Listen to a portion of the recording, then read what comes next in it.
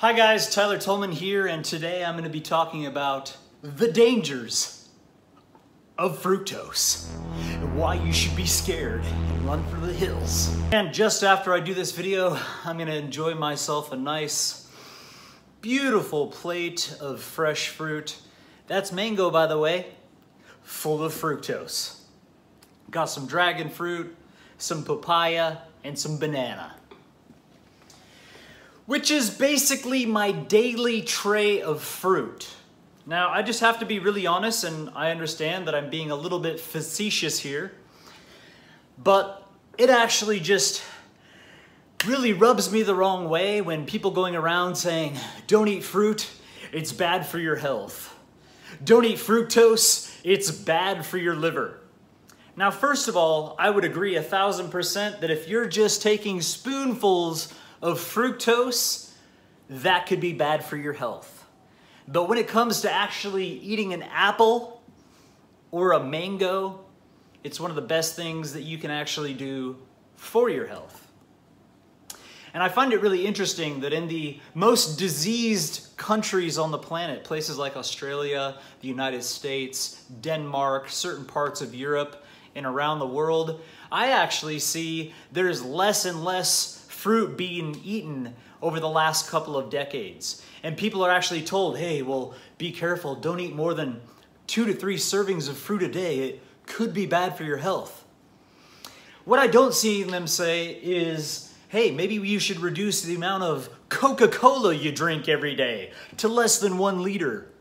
What I don't see them saying is, hey, cut it down to maybe only one Domino's pizza per night.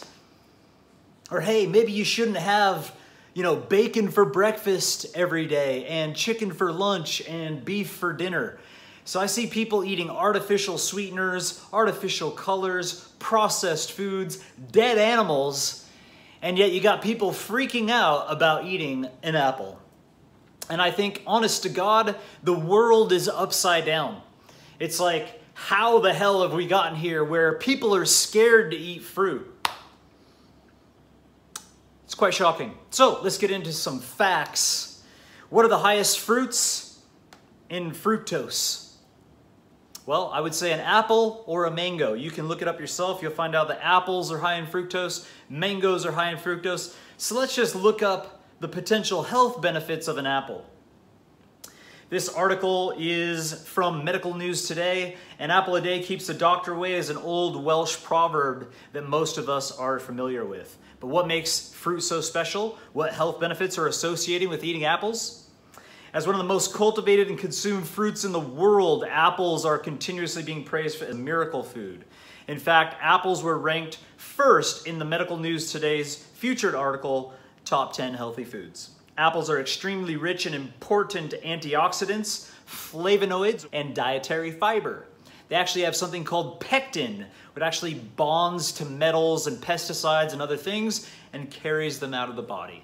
It's probably smart to eat organic apples, or if you're buying apples at the local grocery store, you can soak it in some water, pour some apple cider, apple cider vinegar, which gets rid of all the pesticides and herbicides. About a half a cup to a full water basin, you can soak all your fruits, your vegetables, different things, and it completely gets rid of all pesticides, herbicides, fungicides. There you go. The phytonutrients and antioxidants in apples may help reduce the risk of developing cancer, hypertension, diabetes, and heart disease. This article provides a nutritional profile of the fruit and its possible health benefits. It also discusses the possible risk and precautions. Ooh, be careful. Now, you know, if we just go back to simplicity, like if, if you were like just a, a dumb human walking in nature and you were hungry, do you think if you smelled like some sweetness coming out of the air and you started hiking around, you saw a tree full of apples, do you think you'd be like, oh, you know, that's got fructose, I'm probably gonna skip that amazing tree full of life and go over to some death and some darkness over here? Or would you eat some? Do you think you'd just eat in half an apple to not overdo it? Or would you actually just eat until you were stuffed and full? I believe if you ate till you were stuffed and full all that fiber would come in, it would hydrate you, you'd have all the nutrients you need, you'd have all the electrical life force you'd need, and you'd probably have a really good shit. Everything you need to be healthy. Improving neurological health.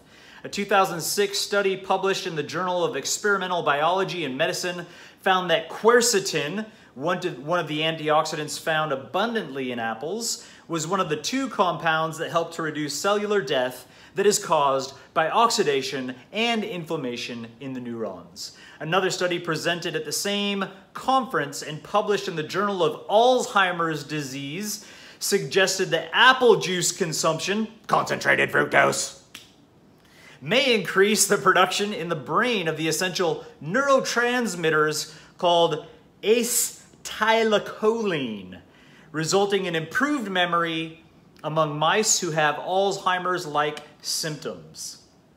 It should be noted that both studies were funded by unrestricted grants provided by the U.S. Apple Association and Apple Products Research Educational Council. Preventing dementia. A study published in the Journal of Food Sciences in 2008 suggested that eating apples may have benefit for neurological health. The researchers found that including apples, plural, in your daily diet may protect neuron cells against oxidative stress induced by neurotoxicity and may play an important role in reducing the risk of neurodegenerative disorder such as Alzheimer's disease. Reducing your risk of stroke. A study of 9,000 men and women showed that those who ate the most apples over a 20-year period had the lowest risk of stroke. If you don't want to have a stroke and die or have half your face falling off, then eat more apples. The researchers concluded that the intake of apples is related to a decreased risk of thrombotic stroke, lowering levels of bad cholesterol, which is associated with heart disease, heart attacks, strokes, etc. A group of researchers at the Florida State University stated that apples are a miracle fruit.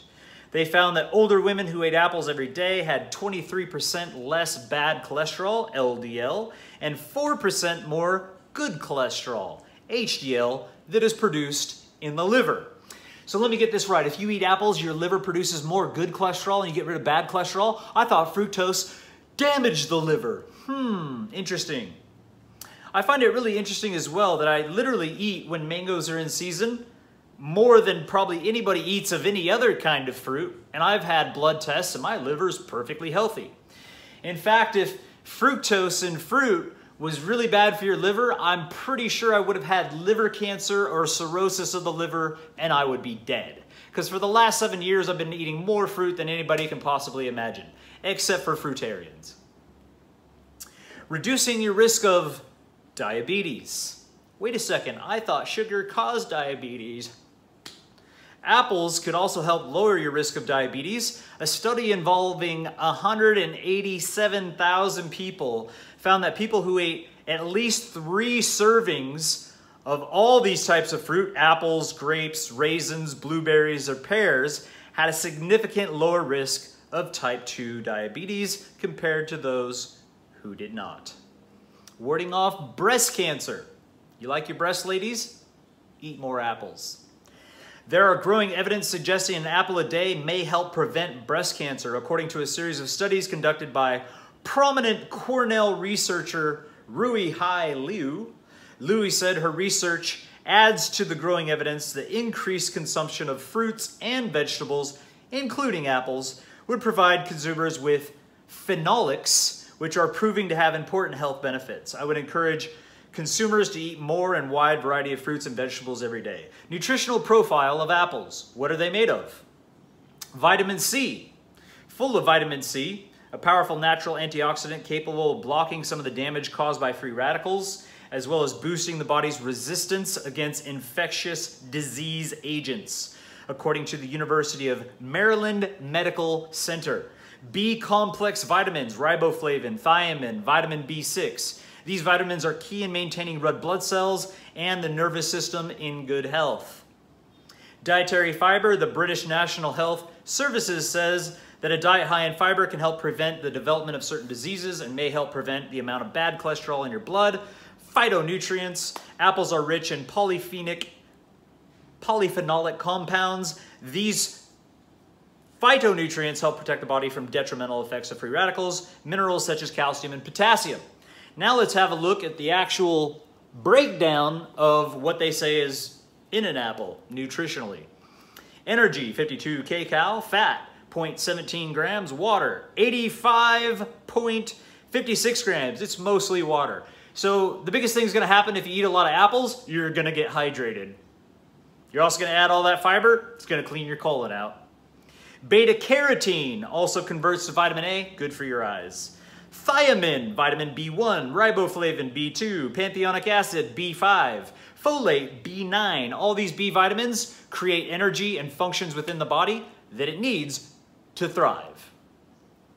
Vitamin E, calcium, magnesium, phosphorus, potassium, manganese, iron, vitamin K, Vitamin C, 4.6 milligrams. Vitamin B6, niacin. Vitamin B3, vitamin A equivalent, lutein, xanthine, sodium, protein. You know, what I don't see on this list? Fructose. Doesn't even list fructose.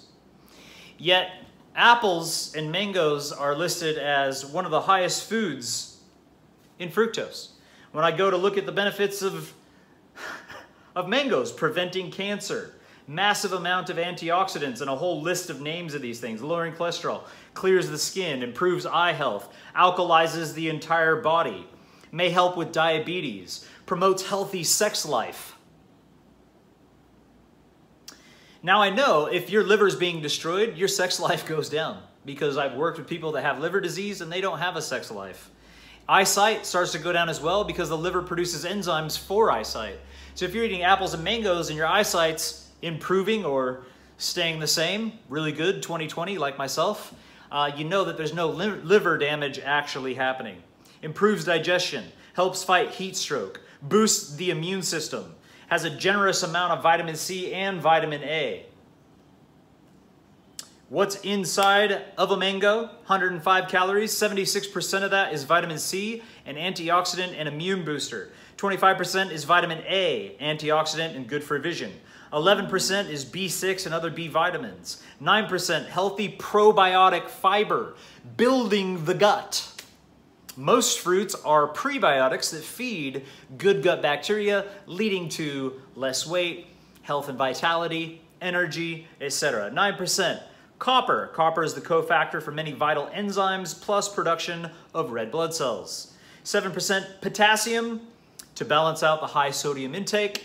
4% magnesium. What do I not see on here? Anywhere that lists fructose. What if, Tyler, what if, okay, you know, I'm not already sick, you know, maybe apples are not killing me, maybe apples and mangoes are not you know, the actual cause of cancer, heart disease, and diabetes, but what if I've already been eating a really shit diet, I haven't been exercising, I've been eating dead animals, artificial sweeteners, and all kinds of other things that are not good for me, and now I have fructose malabsorption. All of a sudden I eat an apple or a mango and I'm shitting everywhere, I'm getting symptoms and things going on, my life is hell. Well, guess what? I've worked with plenty of these people. And you know what I tell them? And you know it takes me a really long time to convince them to do? Eat just fruit, and especially fruits high in fructose, for 30 days. Yes, you heard it here. I've worked with eight year olds, I've worked with teenagers, I've worked with fully grown adults that have fructose malabsorption.